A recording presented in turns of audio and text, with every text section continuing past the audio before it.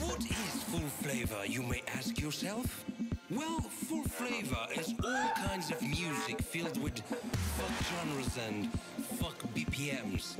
It's not how you make music, it's about how you make the audience feel. Please enjoy the ride. This